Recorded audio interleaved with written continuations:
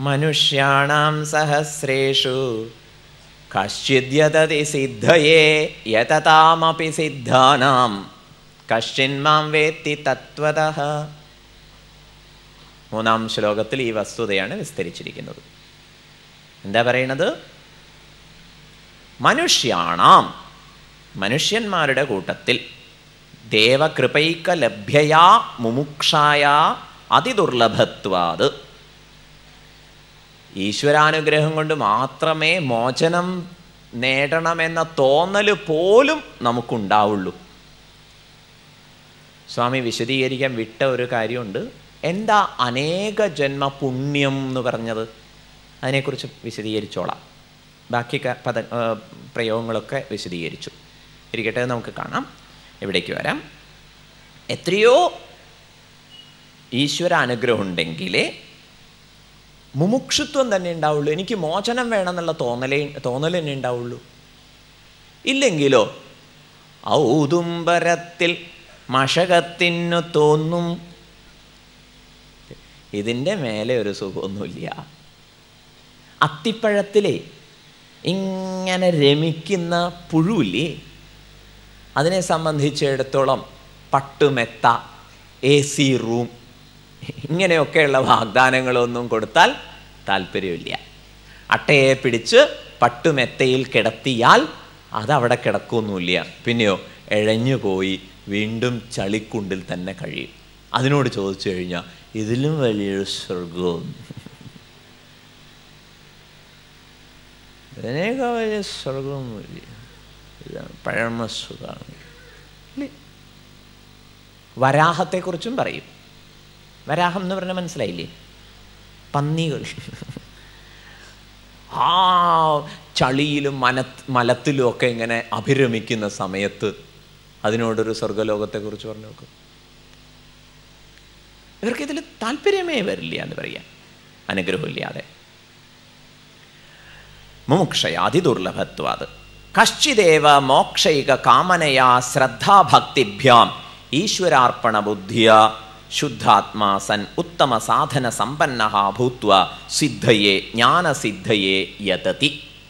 ആയിരക്കണക്കിന് ആളുകളുടെ ഇടയിൽ വളരെ കുറച്ചു പേർക്ക് മാത്രമേ ഉം, മോക്ഷൈക കാമനയാ എനിക്ക് സമ്പൂർണ സ്വാതന്ത്ര്യം എന്ന എന്റെ ജന്മാവകാശം നേടിയെടുക്കണം എന്ന താല്പര്യത്തോടെ ഈ വിഷയത്തിൽ ശ്രദ്ധയുണ്ടാവുള്ളൂ.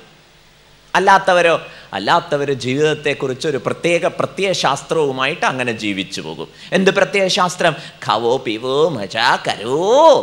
അല്ലേ? കുട്ടിക്കുക തിന്നുക രമിക്കുക. ഹേ. ഡാൻസും പാട്ടും. പക്ഷെ സ്വസ്ഥതയൊന്നുമില്ല കേട്ടോ അത് വേറെ കാര്യം. അവർ ഭക്ഷണം കഴിക്കുന്നത് കാണണം. ആ ഫാനൊന്നും ഇട് വലിയ ചൂട്. ചൂടുണ്ടായിട്ടൊന്നുമല്ല എരി പൊരിയണേ അടിച്ചു മാറണത്. കട്ടിച്ച് വലിച്ചും. അപ്പൊ കാണാനുള്ളതിൽ കൊതി. എന്താ കാണാനുള്ളതിൽ കൊതി? ഒരു കുഞ്ഞിക്കാൽ. ചിലരുടെ സങ്കടം എന്താ? ഈ വീട്ടിനൊരു ശാപം കിട്ടിയതുപോലെ മക്കളുടെ ഒക്കെ കല്യാണം കഴിഞ്ഞു എന്നിട്ട് ഒരു കുഞ്ഞിക്കാൽ കാണാനുള്ള ലീ. അദൃഷ്ടം. അപ്പൊ ദൃഷ്ട അദൃഷ്ട വിഷയങ്ങളിൽ ആർക്കാണോ വൈമുഖ്യം വന്നത്? അയാളാണ് സിദ്ധൻ. ഈ ശ്ലോകത്തിലെ സിദ്ധി എന്ന് പറയുന്നത് മനസ്സിന്റെ സാമ്യാവസ്ഥ. കണ്ടതിനെക്കുറിച്ചും കൊതിയും പരിഭ്രമവും ആകർഷണവും ഇല്ല. കാണാനിരിക്കുറിച്ചും ഒന്നുമില്ല. കണ്ടോ? സന്തോഷം. കണ്ടില്ലേ? അതും സന്തോഷം. അങ്ങനെയുള്ള ഉറച്ച മനസ്സിനെയാണ് സിദ്ധന്റെ മനസ്സ് എന്ന് പറയുന്നത് ഈ ശ്ലോകത്തിൽ. മനുഷ്യാണാം സഹസ്രേഷു കശ്ചിത് സിദ്ധയെ യതതി. ആയിരക്കണക്കിന് മനുഷ്യന്മാരുടെ ഇടയിൽ ചിലർ മാത്രമേ മനസ്സിനെ സാമ്യത്തിൽ സാമ്യഭാവത്തിൽ നിർത്തുക എന്ന വിഷയത്തിൽ ഉത്സാഹിക്കുള്ളൂ. ഇനി അങ്ങനെ സിദ്ധ സിദ്ധാവസ്ഥയെ നേടിയ ആളുകളിൽ തന്നെ കശ്ചിദേവ ചിലർ മാത്രമേ ഗുരു ആത്മ ഈശ്വര സുപ്രസാദ സമ്പന്ന ഗുരുവിന്റെയും ആത്മാവിന്റെയും ഈശ്വരന്റെയും പ്രസാദം കൊണ്ട് ഗുരുവിന്റെ പ്രസാദം എന്ന് പറഞ്ഞാൽ ശാസ്ത്ര കാര്യങ്ങളൊക്കെ വിസ്തരിച്ച് പ്രതിപാദിച്ച് തരാനുള്ള ഒരു അനുഗ്രഹമാണ് ഗുരു അനുഗ്രഹം. അത് ചിലർക്കേ കിട്ടുള്ളൂ. കേട്ടതൊക്കെ ഉൾക്കൊള്ളുന്ന കേട്ടതൊക്കെ അത് അർത്ഥമാക്കുന്ന രീതിയിൽ ഉൾക്കൊള്ളാൻ കഴിയുന്നത് ആത്മാനുഗ്രഹമാണ്. അതിനുള്ള സൗകര്യങ്ങൾ ഒരുങ്ങിക്കിട്ടുന്നത് ഈശ്വരാനുഗ്രഹമാണ്. പുരോഗമിക്കണമെങ്കിൽ മൂന്ന് അനുഗ്രഹങ്ങൾ വേണം എന്നാണ് പറഞ്ഞിരിക്കുന്നത്. അതുകൊണ്ട് മൂന്ന് അനുഗ്രഹങ്ങൾക്ക് വേണ്ടിയും നാം പ്രാർത്ഥിക്കണം. എന്താ നാം പ്രാർത്ഥിക്കേണ്ടത്? ജഗതീശ്വര